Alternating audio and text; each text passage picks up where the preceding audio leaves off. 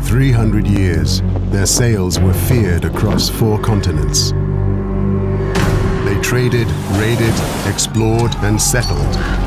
Their gods, their warriors, and their eye for beauty defined an age, and now they are back. At a major British Museum exhibition.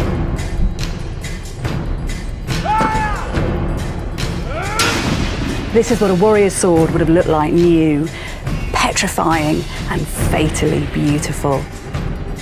Just look at that beautifully crafted pin. The world of their imagination was teeming with gods, monsters, and wonders. For the first time in 30 years, we're bringing the Vikings back. Take a live guided tour with the world's experts at a cinema near you.